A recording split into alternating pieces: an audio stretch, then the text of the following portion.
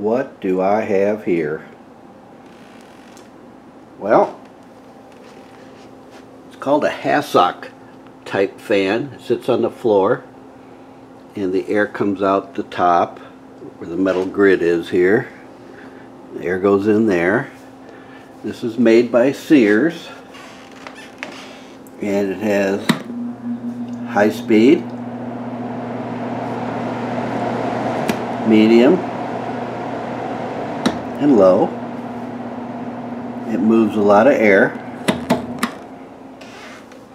And the reason this caught my eye, I found it at a flea market, is because I remember, I believe my grandmother had one of these when I was a little kid, and I remember getting yelled at because we were putting our feet on it, you know, as a footrest.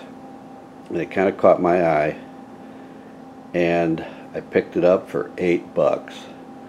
And I know I don't need it, but it's cool. It's kind of got that Art Deco look to it. Um,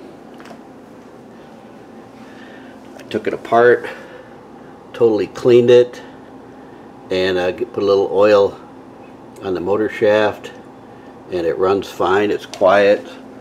So obviously somebody had been using this, and uh, the, the best I can tell uh, from research, it said late 50s, early 60s. Uh, That's probably correct. If it was older than that, it would be all metal, but this is actually mostly plastic except for that metal uh, part at the top where the air comes out and the base and the motor. All the other panels are plastic. So, enjoy.